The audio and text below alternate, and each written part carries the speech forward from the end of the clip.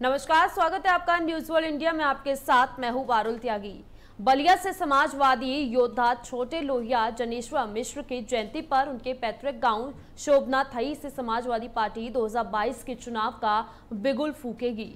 प्रबुद्ध वर्ग सम्मेलन की तैयारियाँ पूरी हो चुकी हैं और ऐसे में प्रबुद्ध वर्ग सम्मेलन में भारी संख्या में ब्राह्मणों के पहुँचने की उम्मीद भी की जा रही है। बता दें, कार्यक्रम में मुख्य अतिथि के तौर पर अखिलेश यादव के पाँच रत्न मौजूद रहेंगे, जिसमें माता प्रसाद पांडे, मनोज पांडे, अभिषेक मिश्रा, संतोष पांडे और सनातन पांडे शामिल होंगे। साथ ही सपा नेता ने कहा कि अखिलेश यादव अगले मुख्यमंत्री होंगे और ये जानकारी उनकी तरफ़ से दी गई है। तो बता दें, लगातार 2022 के चुनाव को लेकर तैयारियाँ जोरों पर हैं और ऐसे में सपा ने ब्राह्मणों को साधने की कवायद शुरू कर दी है।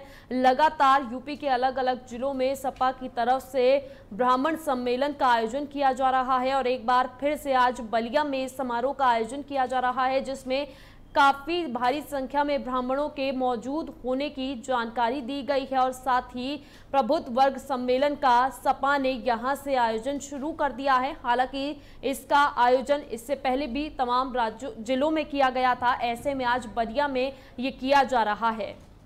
जिनमें बता दें, पाँच रतन शामिल होने वाले हैं, जिनमें माता प्रसाद पांडे, मनोज पांडे, अभिषेक मिश्रा, संतोष पांडे और सनातन पांडे शामिल होंगे। साथ ही सपा नेता ने कहा है कि अखिलेश यादव अगले मुख्यमंत्री बनेंगे।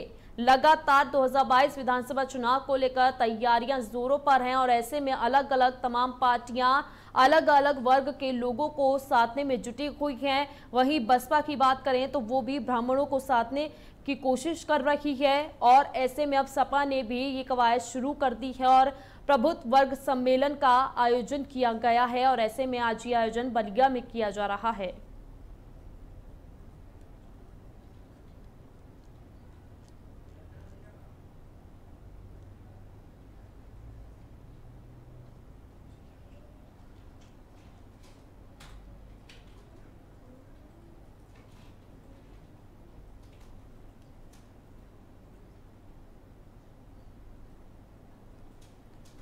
तो बता दें कार्यक्रम में काफ़ी सारे लोग शामिल होंगे। ये जानकारी दी जा रही है और ऐसे में प्रभुत्व वर्ग सम्मेलन का आयोजन किया जा रहा है। अखिलेश यादव के पाँच रत्न इसमें शामिल होंगे और सम्मेलन में भारी संख्या में ब्राह्मणों के पहुँचने की उम्मीद भी जताई जा रही है। साथ ही कार्यक्रम में मुख्य अतिथि के तौर पर अखिलेश यादव के पाँच रत्न मौजूद रहेंगे, जिनमें माता प्रसाद पांडे, मनोज पांडे, अभिषेक मिश्रा, संतोष पांडे और सनातन पांडे शामिल होंगे। साथ ही सपा नेता ने कहा है कि अखिलेश यादव अगले मुख्यमंत्री यूपी के बनेंगे।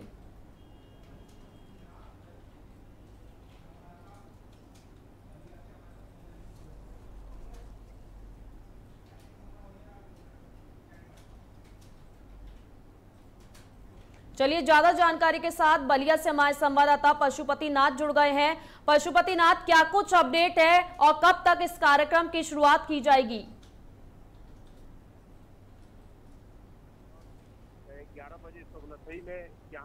जहाँ मिश्रा की जन्मस्थली है, वहाँ से शुरुआत हो चुकी है। वहाँ पर अभी कार्यक्रम चल रहा है इस समय प्रेजेंट में। और सपा सपा नेता सनातन पांडे, मनोज पांडे, अभिषेक मिश्रा और पवन पांडे, ये सारे लोग मौजूद हैं मौके पर। और उन्होंने कहा कि अगला जो चुनाव होगा, वो उन्नीस दो की 2022 में अगले अगले मुख्यमंत्री अखिलेश यादव होंगे। जी।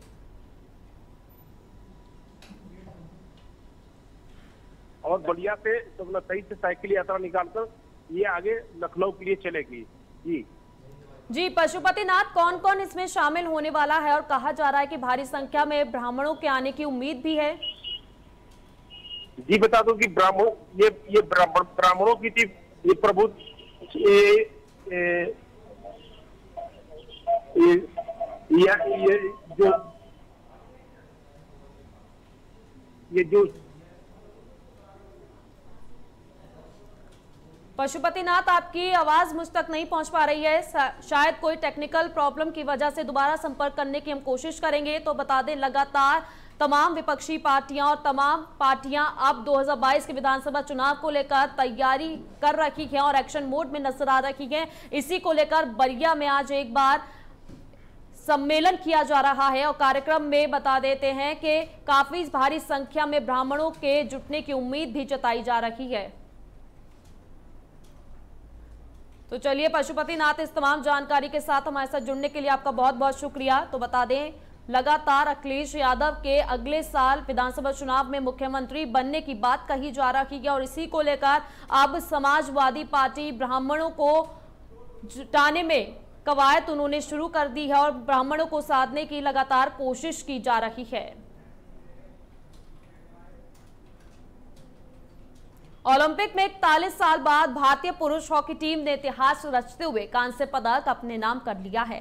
वहीं कानपुर में बच्चों ने ओलंपिक में भारतीय पुरुष हॉकी टीम के कांस्य पदक जीतने पर बेहद उत्साहित हुए और जमकर जश्न भी मनाया। तो बता दें, आज ओलंपिक में भारतीय हॉकी टीम ने, पुरुष हॉकी टीम ने कांस्य पदक जीता है और इकतालीस साल बाद ऐसा हुआ है जब भारत की हॉकी टीम ने पदक जीता हो। हालाँकि इससे पहले 1980 में पदक जीता था। इसके बाद से ही, आज सुबह से ही पूरे देश में जश्न का माहौल है। तमाम जगहों से जश्न की तस्वीरें आ रही हैं सामने।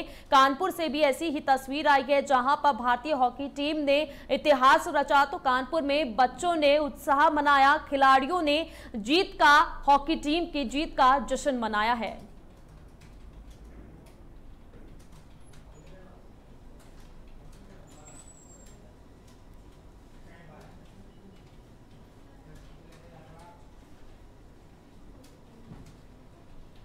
अमरोहा में समाजवादी पार्टी के सपा के पूर्व कैबिनेट मंत्री महबूब अली, सपा मेलसी परवेज अली और सपा के राष्ट्रीय सचिव कमाल अख्तर ने अपने समर्थकों को हरी झंडी दिखाकर साइकिल यात्रा का शुभारंभ कर दिया है। वहीं साइकिल यात्रा के दौरान मीडिया से बातचीत में पूर्व कैबिनेट मंत्री महबूब अली ने कार्यकर्ता के साथ मिलकर पूर्व कैबिनेट मंत्री राजभर और ओवैसी पर जमकर निशाना साधा है और पूर्व कैबिनेट मंत्री महबूब अली ने आगे कहा कि जनता जानती है कि ओवैसी का काम जीते हुई पार्टी को हराना है और इसीलिए पहले वो अपने क्षेत्र में सरकार बनाकर दिखाएँ। उसके बाद यूपी में आए। वहीं उन्होंने आगे कहा कि राजभर के बयानों से पहले ही साबित हो रहा है कि वो किसके लिए काम कर रहे हैं। जनता समझदार है और दो हज़ार बाईस में समाजवादी की पार्टी की सरकार बनने वाली है। यह साइकिल यात्रा ने साबित कर दिया है।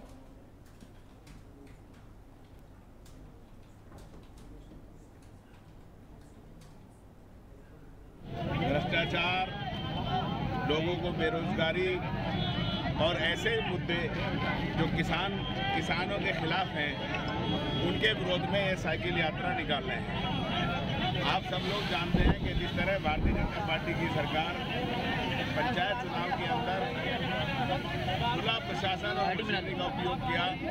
इसी तरह से भारतीय जनता पार्टी लोगों को तरह तरह से गुमराह कर रही है। और सब ऐसे लोगों को जो दबे कुचले लोग हैं, उन्हें इकट्ठा करने वाले छोटे निर्णैया दिनेश मिश्र जी, कि आज जन्मदिन पर ये आगाज़ हो जाए आज का जो खासकर साइकिल रैली का चुनाव है, कि किसी भी कीमत पर देश को तोड़ने वाले, बिरादरियों में धर्मों में बांटने वाले प्रदेश के विकास में बाधित, बाधा डालने वाले और मेरे ख्याल से लाशों पर राजनीति करने वालों का कोई स्थान नहीं।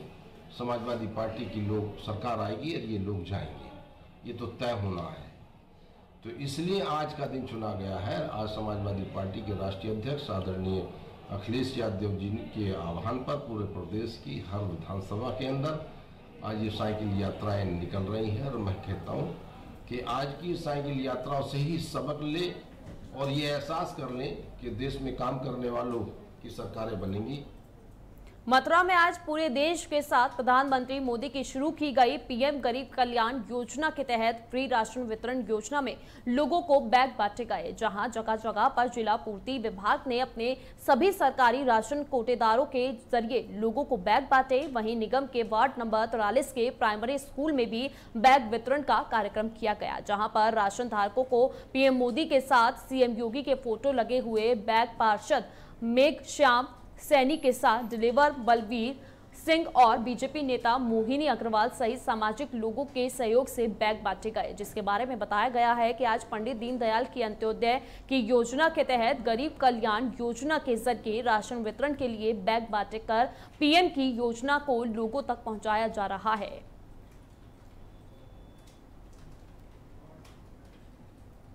मेरे को जिला पूर्ति अधिकारी ने सौ- सौ की उपलब्धता प्राप्ति की है। वो सभी कार्डधारकों को दिए हैं, जिससे कि अंत्योदय कार्डधारक सबसे ज़्यादा है। अंत्योदय कार्ड से एक आदमी रह गया हो, बाकी रहेगा बाकी बाकी जितने अंत्योदय के बाद में जो बचे हैं, वो पात्र पात्र वालों को वितरण किया उत्तर प्रदेश।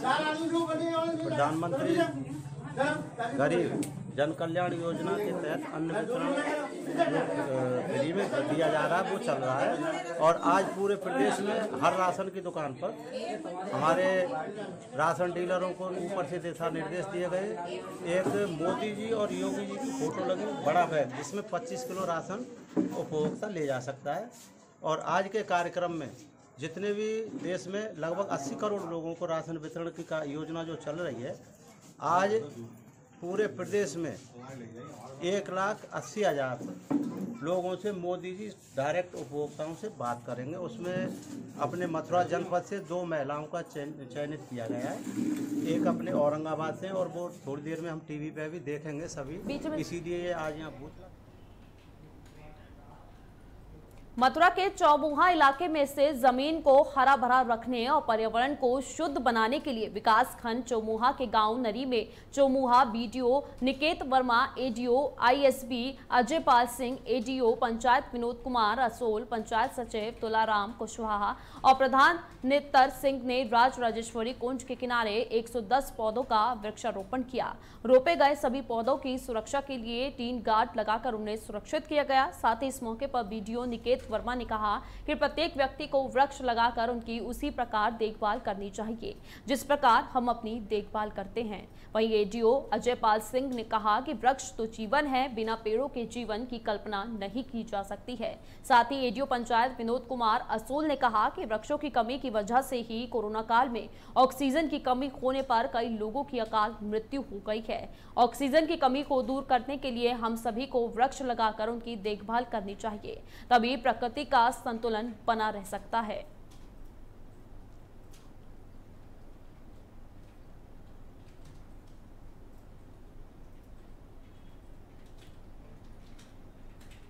एफॉरेस्टेशन ड्राइव के अंतर्गत लगभग 110 वृक्ष हमने यहाँ पर लगाए हैं।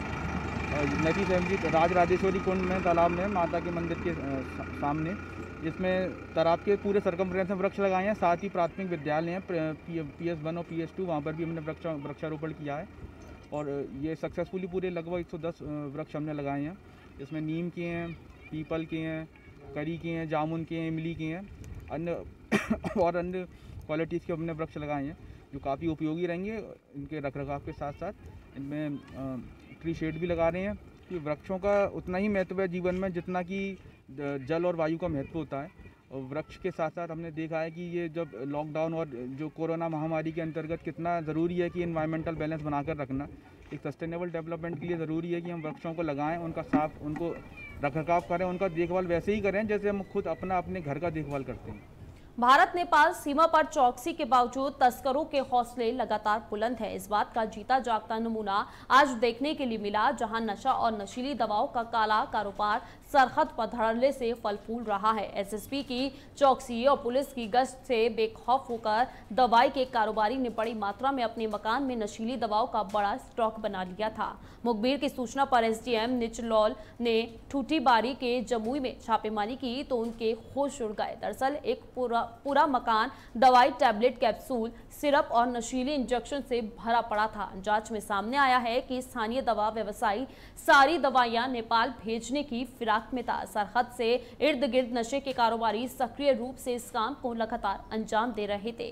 वहीं प्रशासन के सामने नशे की चेन को तोड़ने के लिए एक बड़ी चुनौती थी, जिसमें आज सफलता हाथ लगी है।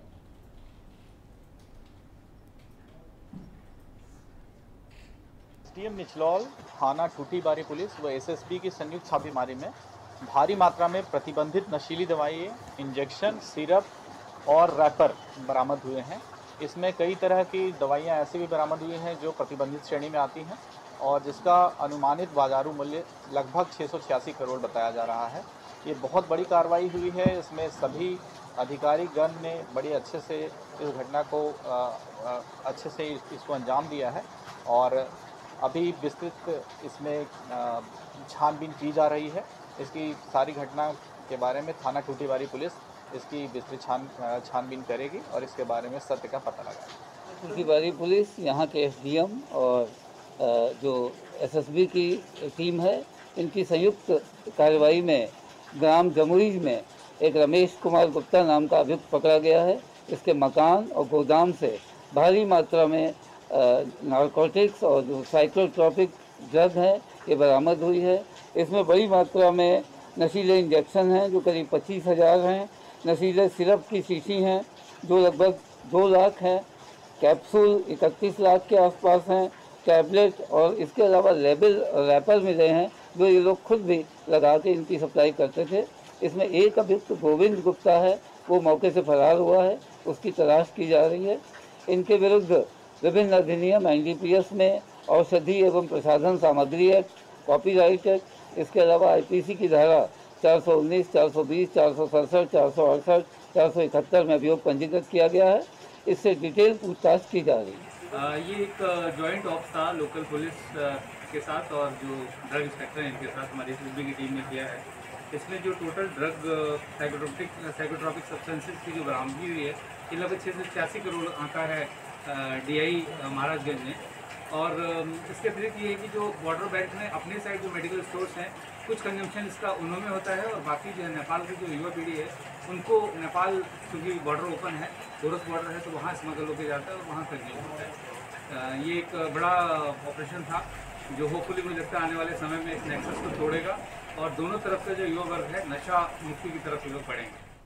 आगरा में चंबल नदी के बहाव में तेज़ी से जल स्तर बढ़कर 135.75 मीटर पहुँच गया है। वहीं तटवर्ती इलाकों के ग्रामीणों में नदी के बड़े जल स्तर से लोगों की परेशानियाँ भी बढ़ रही हैं। वहीं प्रशासन की टीमें लगातार रेस्क्यू विज़िट कर रही हैं। इसी के साथ बाढ़ से घिरे गाँव में अब प्रशासन ने वन विभाग के चार स्ट्रीमर चलवाए हैं। तो बता दें, लगातार बारिश के चलते जलस्तर नदियों का बढ़ रहा है और इसी तरह चंबल नदी के बहाव से जलस्तर एक बार फिर से बढ़ गया है और प्रशासन लगातार रेस्क्यू विज़िट कर रहा है और साथ ही लोगों को सुरक्षित स्थानों तक पहुँचाया जा रहा है।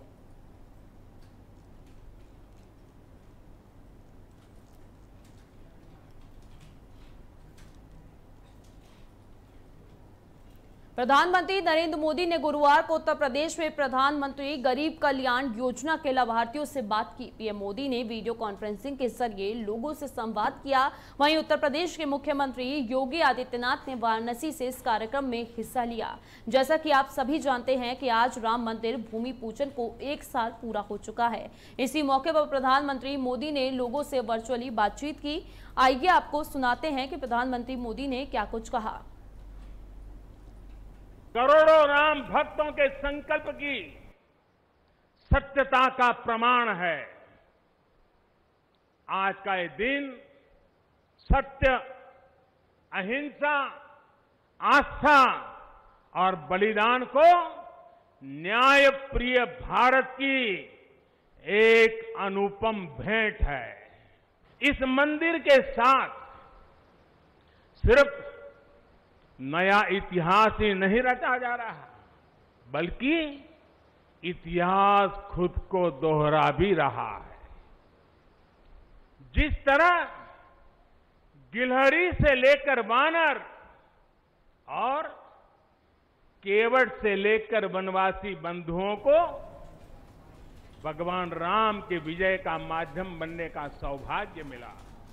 अयोध्या में भूमि पूजन की वर्षगांठ पर मुख्यमंत्री योगी आदित्यनाथ गुरुवार को अपने तय कार्यक्रम से 45 मिनट पहले अयोध्या पहुँच गए। यहाँ पहुंचकर उन्होंने यात्री निवास पर अफसरों से चर्चा की और मुख्यमंत्री योगी आदित्यनाथ सबसे पहले राम जन्मभूमि परिसर पहुँचे।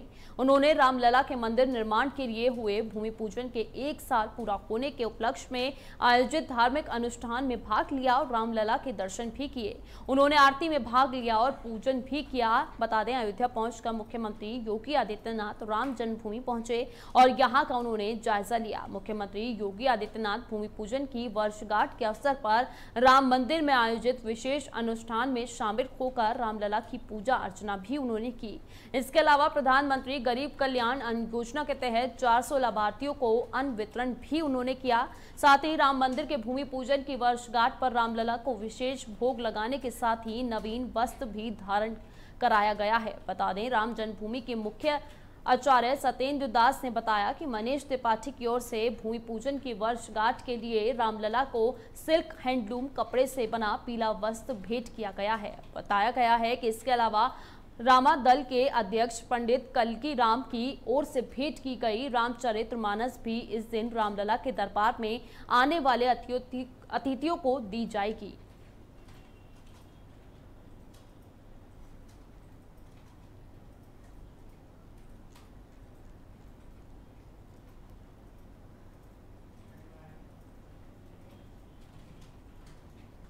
समाजवादी आंदोलन के वरिष्ठ नेता जनेश्वर मिश्र की जयंती पर साइकिल यात्रा कर निकलने से पहले पार्टी अध्यक्ष अखिलेश यादव ने सपा कार्यालय पर मीडिया को संबोधित किया और उन्होंने कहा कि 2022 के चुनाव में सपा 400 सीटें जीतेगी। जनता बीजेपी से नाराज़ है। बीजेपी सरकार ने जनता को धोखा दिया है। उन्होंने कहा कि बीजेपी में अपराधियों की भरमार है। वो मैनिफेस्टो नहीं मनीफेस्टो बनाते हैं। उनके लिए राजनीति एक व्यापार है। बीजेपी की सरकार ने कोरोना के दौरान लोगों की मदद नहीं की और बड़ी संख्या में मौतें हुई हैं। इसके बाद अखिलेश यादव सपा कार्यालय से साइकिल यात्रा के लिए निकल पड़े और उनके साथ बड़ी संख्या में कार्यकर्ताओं का हुजूम भी मौजूद रहा। बता दें कि आज प्रदेश की हर तहसील पर साइकिल यात्रा निकाली जा रही है और इस दौरान पार्टी कार्यकर्ताओं में जोश भरने के साथ ही बीजेपी की नीतियों का विरोध भी जताया गया।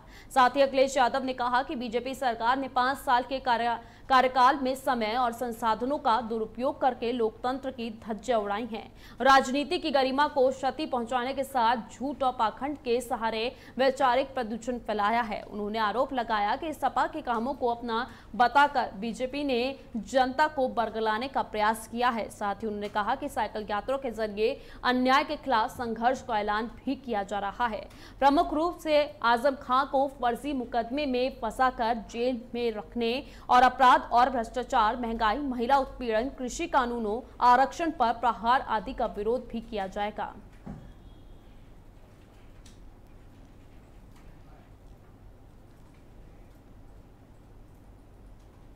उत्तर प्रदेश की राज्यपाल आनंदीबेन पटेल का काफिला हरदोई पहुँच चुका है।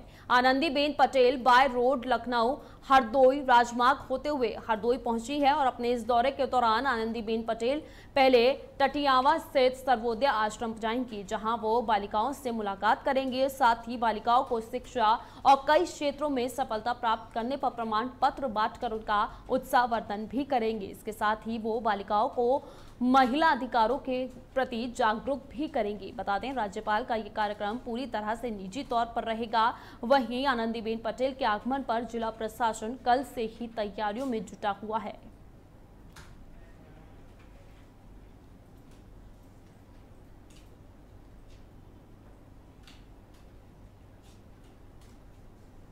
इस बुलेटिन में फ़िलहाल के लिए इतना ही। आप देखते रहिए न्यूज़ वर्ल्ड इंडिया।